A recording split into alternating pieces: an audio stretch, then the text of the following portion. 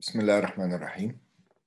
In this lecture, I'll discuss tumor-like conditions. By the end of this lecture, you'll be able to define what tumor-like conditions are.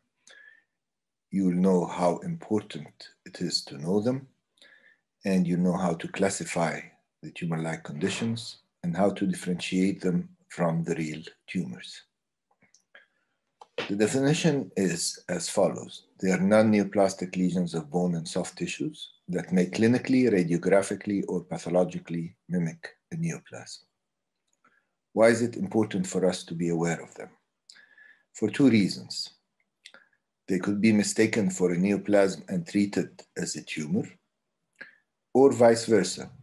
Real neoplasm may be mistaken for a tumor-like condition and deprived of the appropriate and timely therapy. So, what are these conditions? How do we classify them?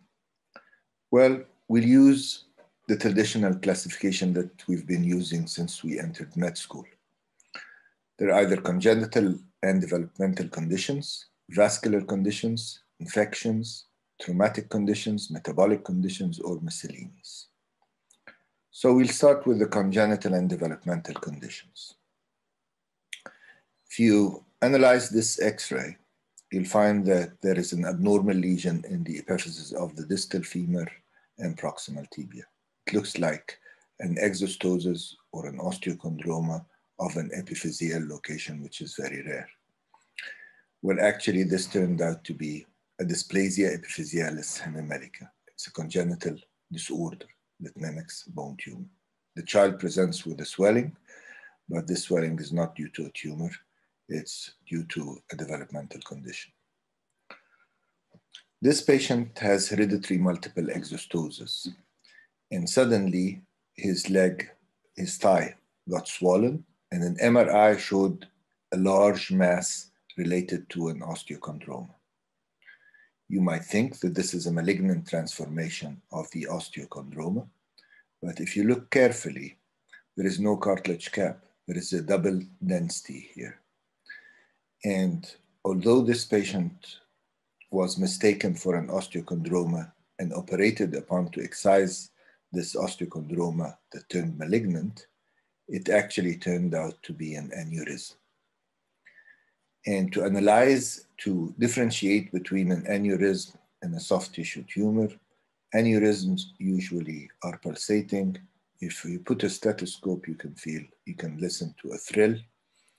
And uh, malignant tumors don't grow suddenly or don't grow in two or three days.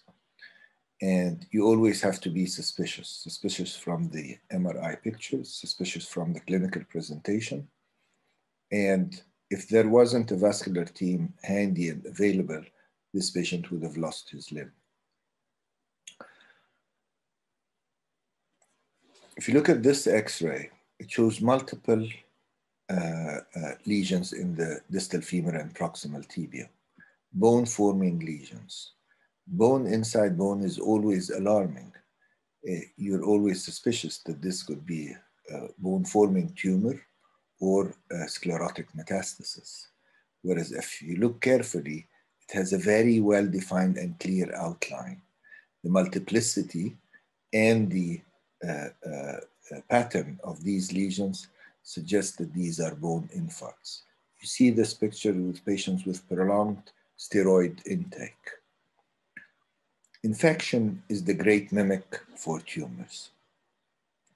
And this is a patient who presented with shoulder pain. X-ray showed an osteolytic lesion of the proximal humerus. The differential diagnosis of this lesion should definitely include Ewing sarcoma and osteosarcoma.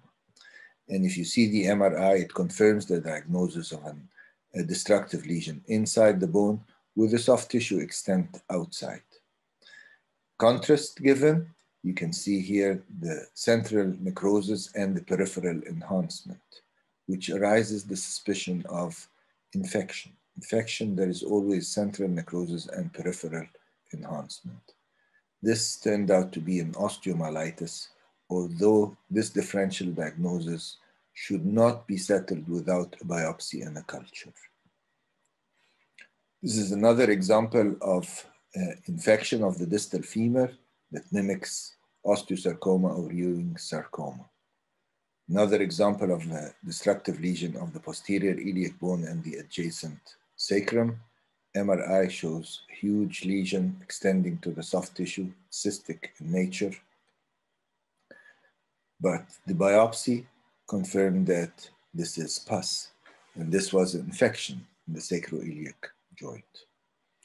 Another example of an osteolytic lesion in the metaphysis and epiphysis of a skeletally immature could easily miss it as a, an epiphyseal tumor, a chondroblastoma with a metaphyseal extent, whereas actually this was a Brodie's abscess. Another form of a Brodie's abscess, osteolytic lesion of the distal tibia, you could put in the differential diagnosis a simple bone cyst. But if you look at the MRI, there is central necrosis and a peripheral uh, uh, uh, enhancement or a peripheral light around it. This is a Brodie's abscess. You can see here the peripheral enhancement as well. This patient presented with an osteolytic lesion of the proximal tibia. Differential diagnosis would include a giant cell tumor, telangiectatic osteosarcoma, cystic fibrous dysplasia. MRI showed a lesion which is, shows multiple small cysts, biopsy revealed that this was a hydatid cyst.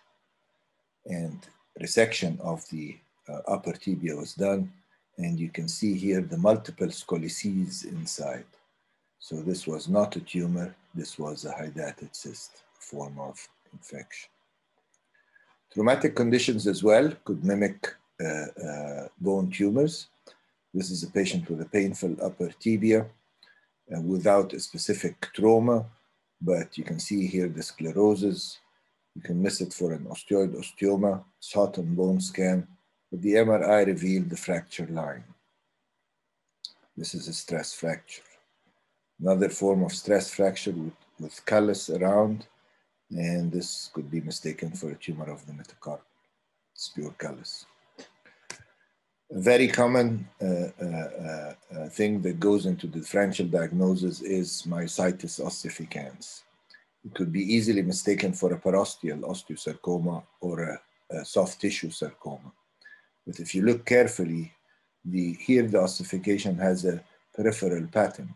It's empty from the inside, but and the ossification is peripheral. This was a myositis ossificans. And uh, radiograph, it passes through several phases. First, it's a soft tissue mass without any ossification. Then it shows zonal calcification at the periphery, progressive ossification and maturation, forming a peripheral shell of bone that's empty from the inside. Myositis ossificans or heterotopic ossification could have different patterns, like this pattern, which is common with uh, uh, traumatic brain injuries in patients in the ICU which fuses the adjacent joints. Metabolic conditions also could mimic uh, neoplasm. This is an example of an osteolytic lesion on, on the head of the second metacarpal.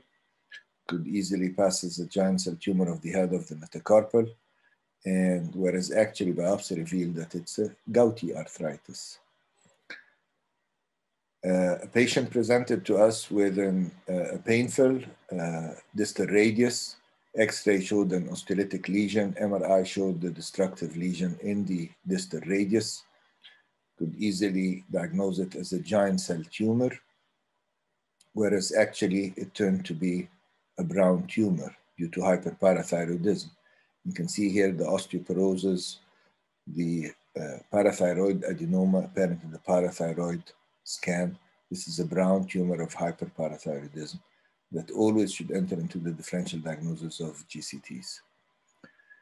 Parathyroid, brown tumors of hyperparathyroidism are not treated surgically. They actually uh, uh, form bone once the uh, parathyroid adenoma is uh, resected. You can see here the osteolytic lesion, and after parathyroidectomy, uh, it forms bone. Another metabolic condition is tumoral calcinosis. You see here the massive calcification. It could be solitary, it could be multiple, and this is due to abnormal phosphate metabolism. It mimics a tumor, whereas actually it's a metabolic condition.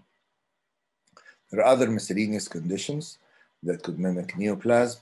This is a patient who presented with a swelling of, the, of her elbow.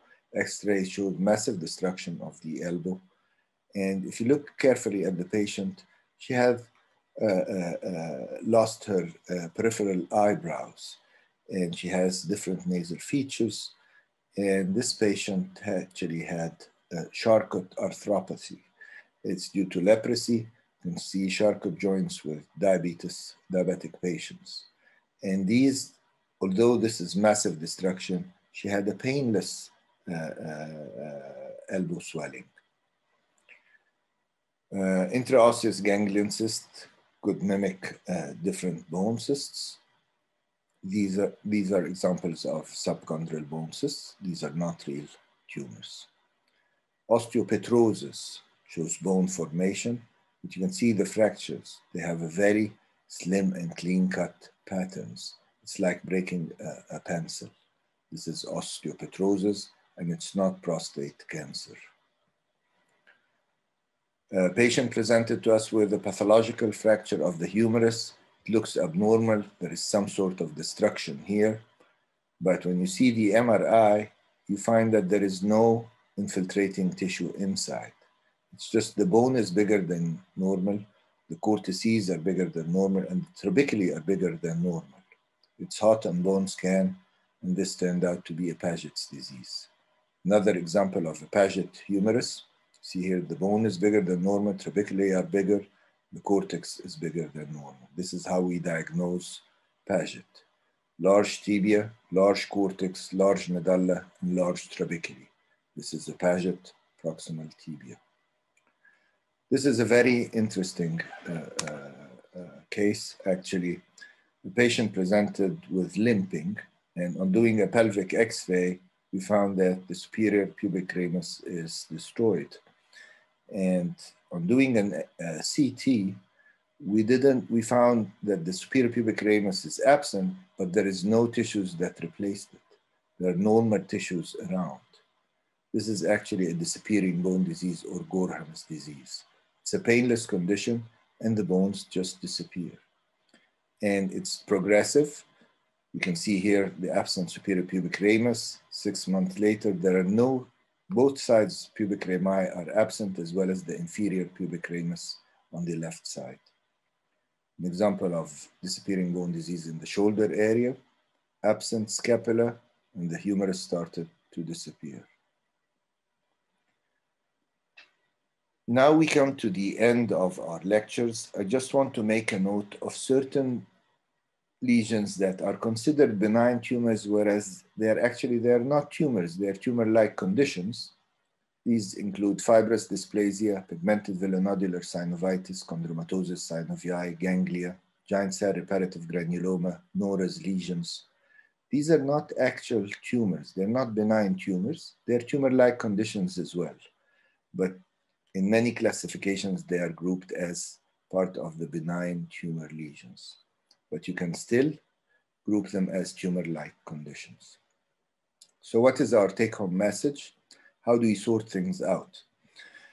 You have to have a careful history taking that identify traumatic conditions, infections, metabolic symptoms, etc.